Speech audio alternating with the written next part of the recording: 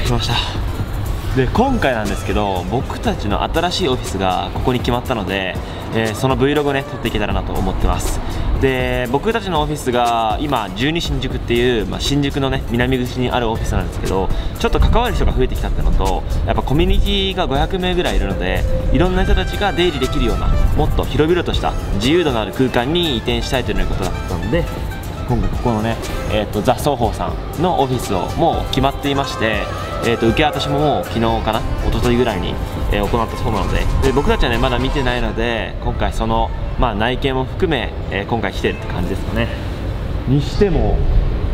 今のところかなりおしゃれですね。だしビル全体もでかいし下にコンビニもあってめっちゃいい感じです。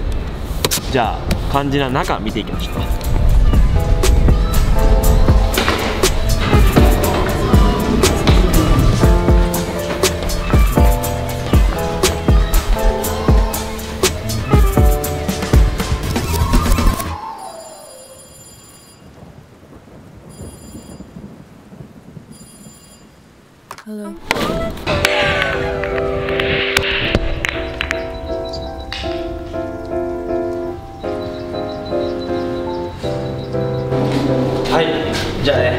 速4階到着したんで僕たちのオフィスに行っていきたいと思いま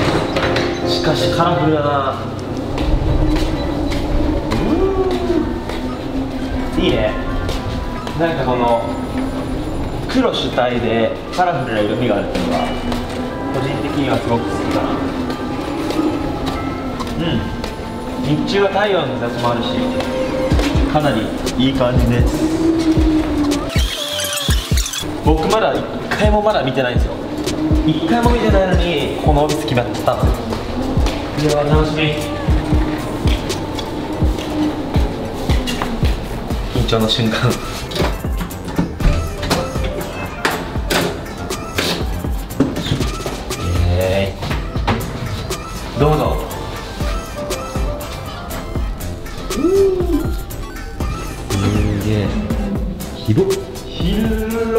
広すぎやろまあ確かに広いすごいなかなかいい感じだなちょっと開けますかオフィスって感じああそうだねでも海見えるからいいかもいやー端から端はいこちら僕たちの新しいオフィスです。今ね本当に何も家具とか入れてなくて内装これから始めるところなんですけど一応空間はね40坪ぐらいあってここに、え、コミュニティメンバーだったりとか、え、僕たちの作業スペースが入るイメージです。はい。まあねなんか写真で見てたよりも想像より広いですね。で太陽の入りがいいのでなんか YouTube の収録とかすごくやりやすいかなって思います。この撮影するのはなさそうなので一旦屋上屋上もあるしで屋上にバーもあるしジムもあるんで回ってきたいと思います。行きましょうか。はい。一応ね今13階に来てまして、えー、ルーフトップに行きたいと思います。で行き方ちょっと分かんないんですけど多分階段で上がるのかな。でなんかジムがあるらしくてそのジムも多分ルーフトップにあるのかな。あでもザ・バーがあるぞ。ついてるという感じです。はい。ルーフトップ上がります。で多分ねここはね僕の収録場所になるって間違いないですね、まあ、なんで、えっと、このオフィスにしたかっていうとまあなんか空間が広々として人も少ないしなんか収録しやすいのかなと思ったんですよね。なんかまあ、もちろんこの景観もすごくいいし夜景とかもねすごく綺麗なんですけど何よりルーフトップとかでこうやって緑がある空間でえー、収録ができるっていうのは自分のね YouTube コンテンツとかそういったものを充実させるためにはかなり大事かなと思ってこのオフィス選びました。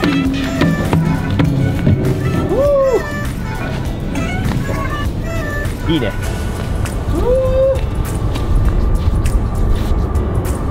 めちゃくちゃいいな。海は汚いけどねすごい。夜景とか相当綺麗だろうなまあこんな感じで。例えばこにカメラを置いてちょっと収録したりとかあのーちょこっとねドローン飛ばしたりとかそういったこともできるかなと思ってます。痛い。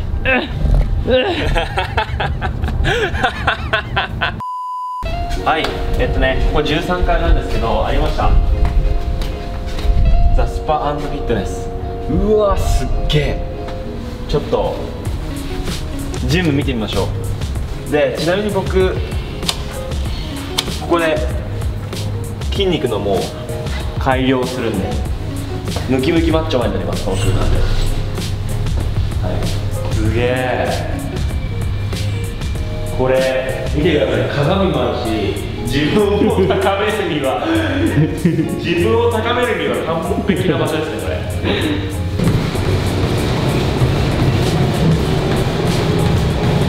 いね。お台場の景色を見ながら走って走った後に走った後にダンベル持ってハンドル持って鏡見て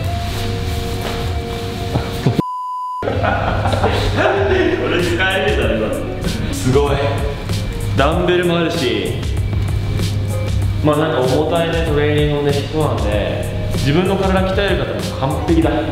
次行きましか。でロッカールームももちろんあって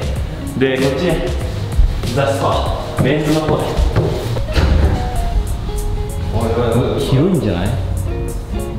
あここはね露天風呂とかそういったプールの跡地みたいな。実際にここは使えないらしいんですけどこういった空間になってます。結構綺麗だね。はい。こちらがシャワールームですねかなりいい感じここでシャワー浴びて景色見ながらジム後にね汗を流して完璧だな。住めるな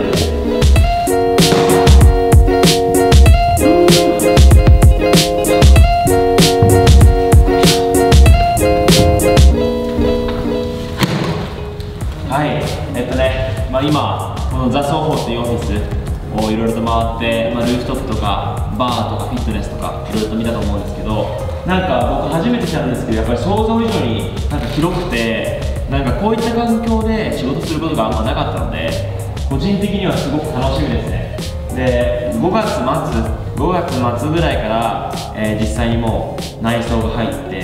ここにテーブルが長いの1個だったりとか、えーちっちゃなのが少し撮影スタジオ壁向きに自分たちの、まあ、作業できるスペースだったりとかいろんなものを、まあ、設置するので、あの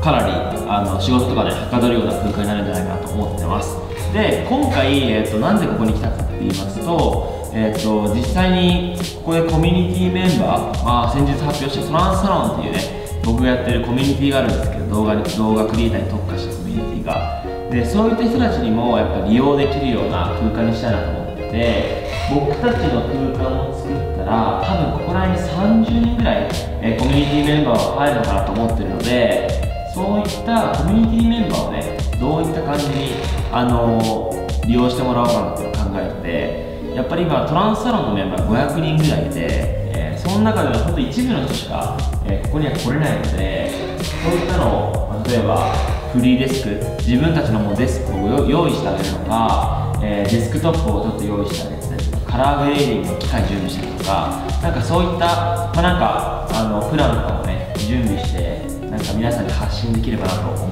てます。多分僕みたいな感じで、えー、と人の目を気にせずに撮影したい人って多分結構多いと思うんですよね。そういった方たちになんかここを利用すれば自分の撮影もできるしあのジムとかで体も鍛えることもできるしルーフトップでゆっくりすることもできるしなんかそういったのをまとめてねいい感じのプランにできればなって思ってたりします。まあ、なんか個人的にすごくね海外の雰囲気が好きで海外に行くことも多いんですけどここの場所だったら羽田空港とか結構近いと思うし空間もねここまで広々として撮影できるんだったら個人的に何も申し分ないぐらいな環境ですね。まあそんな感じでそろそろ動画締めようかなと思ってるんですけど、まあ、またねこの空間が内装入って家具とかが追加された時にもう一回 Vlog 撮ろうかなと思ってるのでその時まで楽しみにしていただければなと思ってます。まずは、えっと、視聴者の皆さんは、えトランスサロンというコミュニティでこういった空間が新しくできたってことを皆さんにお伝えしたいと思って今回こんな感じで動画撮影しました。これから打ち合わせ行かなきゃいけないんで、えっと、そろそろ Vlog 締めたいと思います。はいじゃあそんな感じでまた内装入るまで楽しみにしててください。さようなら。